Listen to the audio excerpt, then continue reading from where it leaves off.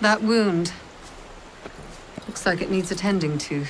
Come with me into my surgery. I'll find some clean bandages to put on it. Well, that ain't nothing. You go with her, brother. That wound's festering by the smell of it.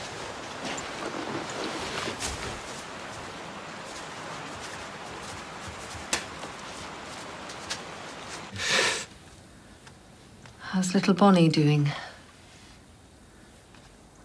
Trust she's thriving with your niece's family. She's well enough. You have a nasty infection. How long ago did you do this? A few days. I know what you think of me, Mistress Fraser. You think I shot Morden? I'm not saying I had a hand in that. You're not saying you didn't either. You think a father's got no right to seek justice for his daughter who has been dishonored?